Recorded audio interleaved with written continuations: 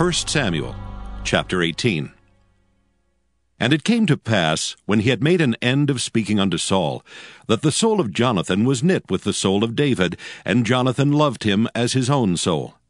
And Saul took him that day, and would let him go no more home to his father's house. Then Jonathan and David made a covenant, because he loved him as his own soul. And Jonathan stripped himself of the robe that was upon him, and gave it to David, and his garments, even to his sword, and to his bow, and to his girdle. And David went out whithersoever Saul sent him, and behaved himself wisely. And Saul set him over the men of war, and he was accepted in the sight of all the people, and also in the sight of Saul's servants. And it came to pass as they came when David was returned from the slaughter of the Philistine, that the women came out of all cities of Israel, singing and dancing to meet King Saul, with tabrets, with joy, and with instruments of music. And the women answered one another as they played, and said, Saul has killed his thousands, and David his ten thousands. And Saul was very wroth and the saying displeased him. And he said, They have ascribed unto David ten thousands, and to me they have ascribed but thousands. And what can he have more but the kingdom? And Saul eyed David from that day and forward. And it came to pass on the morrow that the evil spirit from God came upon Saul, and he prophesied in the midst of the house. And David played with his hand as at other times, and there was a javelin in Saul's hand. And Saul cast the javelin, for he said, I will smite David even to the wall with it. And David avoided out of his presence twice. And Saul was afraid of David, because the Lord was with him, and was departed from Saul.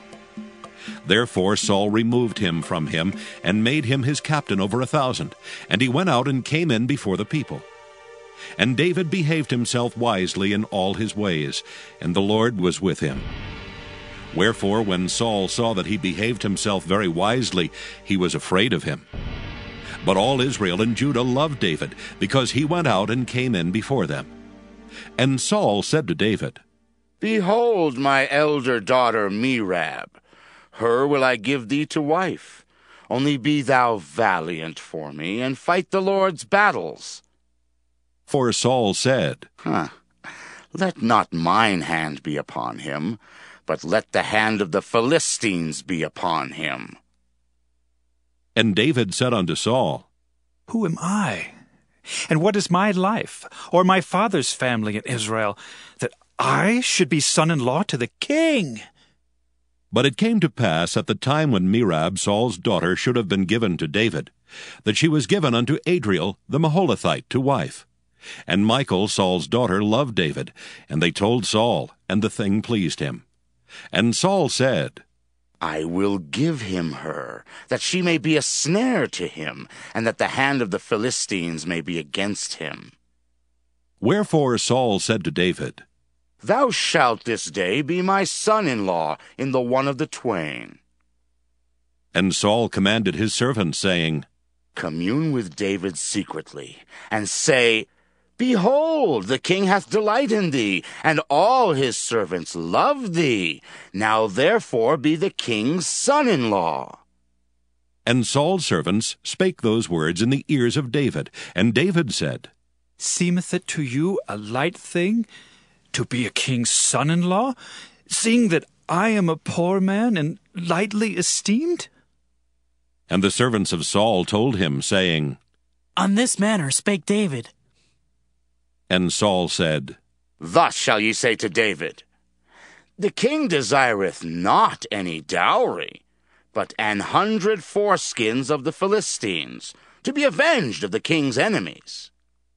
But Saul thought to make David fall by the hand of the Philistines.